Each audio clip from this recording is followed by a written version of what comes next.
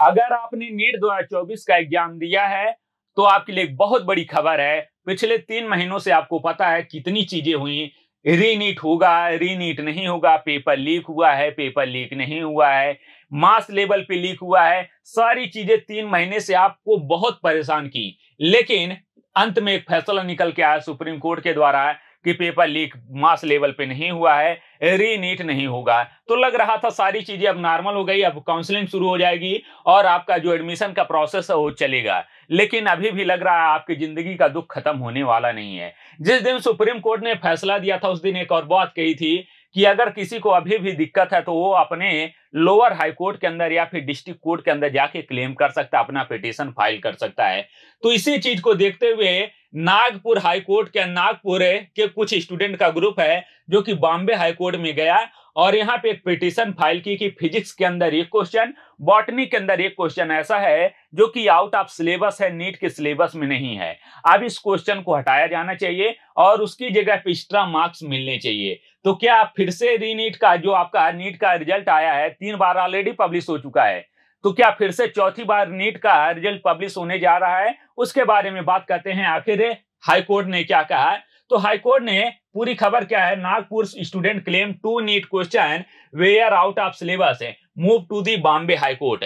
अब जब इस क्लेम को किया गया तो बॉम्बे हाईकोर्ट के जो जस्टिस थे, उन्होंने एक पैनल का गठन कर दिया, एक कमेटी बना दी। और एक कमेटी क्या है कि एक्सपर्ट की कमेटी है। जैसे है, सुप्रीम कोर्ट ने बनाया था कि दिल्ली के जो आईआईटी दिल्ली है, वहाँ के प्रोफेसर फिजिक्स के क्वेश्चन को एनालाइज करेंगे और बताएँगे कि ये सही है कि नहीं सही है। ऐसे ही बॉम्बे हाईकोर्ट ने बॉम्बे के टॉप कॉलेज के एचओडी को हायर किया है और कहा कि आप बताइए क्वेश्चन सिलेबस में है कि नहीं है? बॉटनी के क्वेश्चन को बताइए सिलेबस में है कि नहीं है? तो इसको यहाँ पे पूरी खबर ये है a NEET aspirant in Nagpur took the claim out of two out of syllabus question to be Bombay High Court, the court said to commitment from the college to investigate his claim. किसको? जो claim किया गया student group की तरफ़ से उसको यहाँ पे बताना है कि ये आउट ऑफ़ सिलेबस है कि नहीं है। The matter will be reviewed further on the August nine जो मैटर को सुना जाएगा आज, आठ तारीख को ये फिर से अपनी रिपोर्ट पब्लिश करेंगे कि सही है कि नहीं है और नौ तारीख को इसके ऊपर फिर से हियरिंग होनी है। तो क्या फिर से रिज़ल्ट पब्लिश होगा?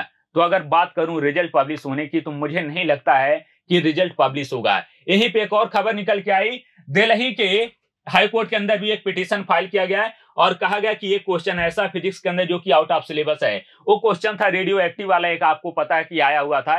तो उसको कहा गया है कि ये आपका आउट ऑफ़ सिलेबस है। तो दिल्ली हाईकोर्ट ने उसे पिटिशन को डिसमिस कर दिया है, खारिज कर दिया है। ये कह के कि अगर क्वेश्चन एक्सपर्ट के द्वारा बनाया गया तो उनको पता है कि ये सिलेबस में है कि नहीं है।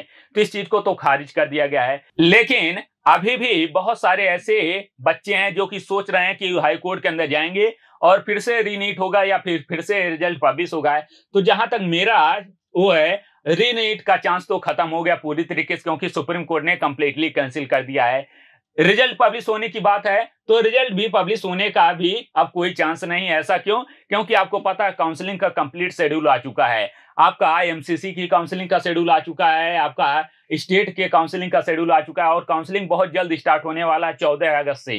तो अगर काउंसलिंग का शेड्यूल आ चुका है, सब कुछ आ चुका है तो अब फिर से रिज़ल्ट पब्लिश होने का कोई चांस नहीं है। अगर अपडेट की बात करें तो आपको अपडेट है, देखते रहना चाहिए। कि आपके चारों तरफ़ आखिर आपके एग्ज़ाम से रिलेटेड हो क्या रहा है। बाकी अगर आप तैयारी कर रहे हैं नीट ट्वेंटी ट्वेंटी फाइव की तो आप तैयारी करते रहे उसके लिए बेस्ट आप लग और अगर आप नीट दो हज़ार चौबीस की काउंसलिंग में पार्टिसिपेट करना चाहते हैं तो आप हमारे नंबर पे काउंसलिंग सपोर्ट है nine triple five nine triple five zero six zero eight three four पे मैसेज कर सकते हैं। यहाँ पे आपको काउंसलिंग से रिलेटेड कंप्लीट सपोर्ट मिलने वाला है। मिलते हैं नेक्स्ट वीडियो में एक नए अपडेट के साथ। तब तक के लिए थैंक यू